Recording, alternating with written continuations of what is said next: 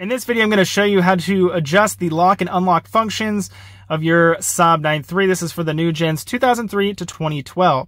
Now we're going to be doing this adjustment via Tech 2. If you're not familiar with a Tech 2 scanner is, I highly suggest you use the cards in the top right of the video or the links in the description to familiarize yourself with what a Tech 2 is, what adjustments it can make, as well as how to hook it up to even get to this point to make these adjustments. And speaking of adjustments, we're going to add the feature of automatic lock after a certain speed. Now, full disclaimer, you cannot adjust the speed whenever the doors lock. Just note, whenever you take off after first starting the vehicle, the doors will automatically lock. The second feature we plan to add today is automatic unlock. Once you remove the key from the ignition, all doors will automatically unlock. So without further ado, let's go ahead and make these adjustments.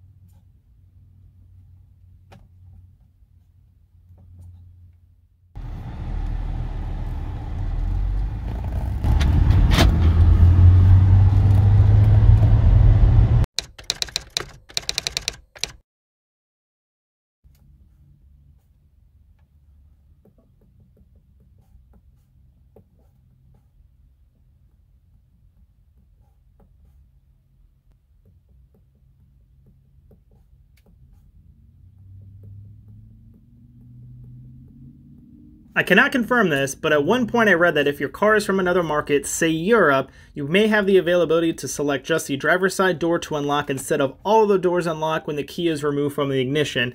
Now because this is a United States car, I do not have that option, but I imagine if you adjust the right module to another market, you can likely get that feature. If this video helped you out, definitely give it a thumbs up and especially consider subscribing. I have a ton of how-to stuff out there, especially Saab-related videos and Tech 2 information. So with that being said, I appreciate you watching and I'll catch you friends next time.